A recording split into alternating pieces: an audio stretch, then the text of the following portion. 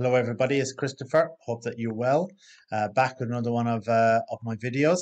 Uh, this time I'm going to be doing uh, an injury video. Um, so Mkhitaryan nearly brought us some nice returns the last day. Patchy week otherwise, but all those players that I tipped have got great long term potential as well, guys. So don't just flip and sell. You know, there's so much potential in them. So I thought because a few people have asked me and I've had a lot of DMs as well. Again, thanks for all your support. Growing the channel, it's kind of exploding a little bit now. So please like, subscribe, and share. It would make a lot, you know, mean a lot to me as well. It's all free content, um, and and it just really helps the algorithms as well and put some alerts on. So.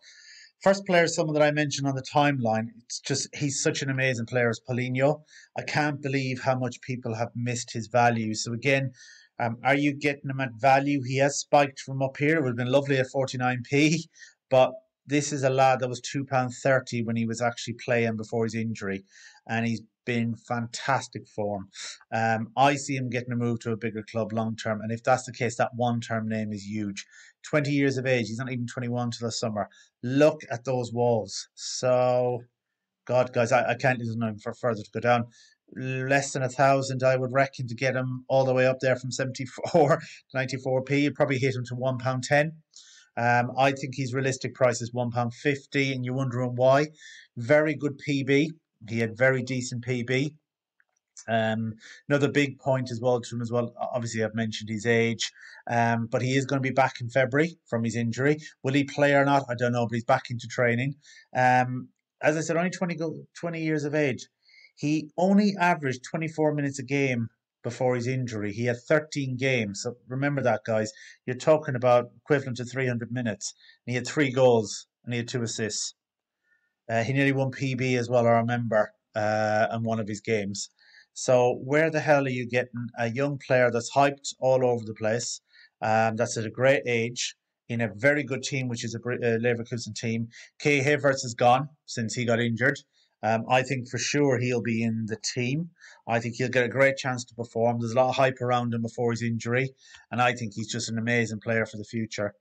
Um, he was in my top six, top six video. Just trying to think, nice and catchy. Uh, look, I checked that other video for lots of detail around him, but he's out for the next 10, 12 days, guys. And again, are you getting him at value? You certainly are. Why am I mentioning him? Well, because over here, £1.56. Look how much he's gone up. Yeah, he's rebounded a bit. But since his injury, he should really, with all the rises, be around two quid. So when he comes back and he posts a very good score, I think he's just going to rock it. I think he's one of the most important players for PB under that two quid mark. 24p already in dividends in the last year, and people keep going on about his injuries, and I understand that, and they call him the glass man at the moment, but look at his age. He's 27. He's going to get links away, and I'm not going to bore you. I did it the last time. There's lots of MB that he's getting as well. 5,000 points, 129 mentions in the last year. Um, he's had two goals and two assists since he just come back. 11 goals and six assists last season, and averaging 140 PB. He's someone you don't have to, you know, flick around with. You don't have to flip. Um, he's just going to win you top six all the time. And I think as an injury hold, he's underpriced by about 30p. When he comes back, I could just see him rocketing.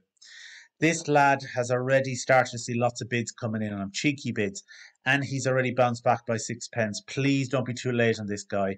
Um, are you getting him a value? You're still getting him a massive value. And why was he so high? Well, he's only 28. He's playing for Cologne, who really need him. He's a regular, but this is the key. Before his injury last season, he got five goals and six assists, and his PB baseline was about 125. He's got a good baseline, a regular in the team on some of the set pieces as well. At 28 years of age, he plays in the Austrian team as well for the Euros, and they are thin walls up to here, up to 40p. You're talking about less than a thousand. He comes in, he does well, he hits a high PB score. Uh, he reminds me of a Stoger who plays, um, who's now moved uh, this season uh, after being on a free, and he's he's at Mainz. But I, I think he's like a Stoger or a Grifo is another one I think as well. And Grifo should be around sixty p. This guy, and I'm trying to do this all the time, is reading the charts, guys, because I do um, I do stock trading, so I actually look at the charts as well. For me, he's around here. I think just looking at looking at it, I, I think he's at least a 40 AP player, which would be a massive return massive return. You pick him up for 25p, you're nearly doubling your money. Like it, those walls will evaporate so quickly. They already have because he's already gone up so quickly, and he's got a lot more in him, guys. And he's going to be back soon in the next month or so. So sorry, another player that's going to be back in the next month. This next player is going to be back on Wednesday, and he will be playing this week. And I can't believe he's been missed. Is Guirassy? He is an IPD hold, but he's 24 years of age. He's got great long term potential. He's at an amazing price. You're picking him up for 31p, 32p. You can see here last summer before his injuries and stuff like that, West Ham were interested in him before he he moved. Um, to be honest, to Rennes, he signed a contract to 2025. They're a selling club. They're going to sell him for definite. I know it. Uh, and when that happens, if it's a Premiership, it's huge. Um, these are great stats, I think. Three goals and one assist in 11 games this season before his injury. Nine goals last season. Um, decent enough uh, PB for a striker who only kind of scores. I think it'll be tougher for him now, but I think he he can get you a, a couple of goals in a game. He can get a hat trick, get into the PBs, and also get into the top six for what 31p, 32p, 24 year old, and he's back this week. Been massively overlooked, and I'm saving the best to last. Um, he will be back in April. People have triple triple checked. I have is Nicolo uh, Zanolio, and I never pronounce his name, Zaniolo. I don't know. I'm giving it a try, right? 21 years of age. Are you getting him at value? You're still getting him at massive value. Do I need to explain who this guy is? Um, this is the main issue with him is because obviously his cruciate ligaments is the second one he suffered but he's 21 years of age. Please go on social media. I rarely look at it, but look at his own postings on Twitter himself, He's on Instagram stuff. I follow a lot. It's like stalkerish at this stage, which is not the best thing to say, but Uh, because I translate other stuff, he is so positive about coming back. He's even gotten COVID now and he's flying through it. He's starting to do his training. He's on about coming back. He's on about the Euros. Roma want to sign him up to a five year contract. You don't do that on somebody that they don't think is going to be back. The best age to get these injuries sometimes is the age he's at. He's going to come back and recover. And let's be honest, guys, two goals in qualifying for Italy for a player not even 21 yet at the time. Um, he's only just turning 21 as well. He won't be 22 until Euro time. Six goals and two assists uh, last season before his injury. Four goals and two assists the season before. He is the new Totti. I think he'll get rumours of moving away. I think for me, when he returns, he'll be one pound seventy five. That might be my exit point, one pound seventy five. And if you're new in, you buy him at one pound and nine p. You're making seventy p. You buy a hundred, and then that's seventy quid. I'm talking about sixty cent return. If you want to hold him, and he, supposing he comes back and he gets back to his old form, this guy can be one of the best in the world he should be about three pound fifty, I think. If he comes back, he's fit. He gets over his injuries. He starts posting the PB he did.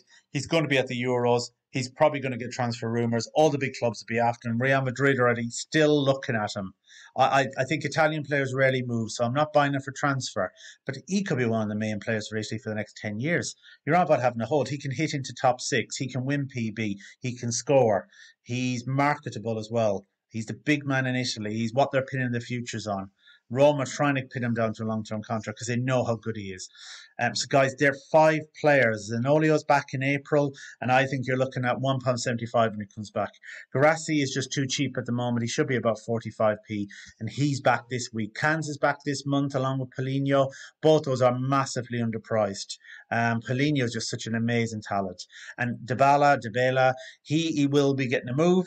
He's great for PB. I'm holding him for PB, no matter what club he's at, because he's sometimes on set pieces, because he does crosses, because he's got so many key passes, dribbles, and then he scores as well. With Ronaldo retiring in the future, or maybe Ronaldo with injuries and him coming in, I think he's a massive hold. So as always, guys, please like, subscribe, and share. And thank you for all your support as well. You know, I'm here as well on Twitter, F1 Addict, F1 Tipster, if you ever need any help.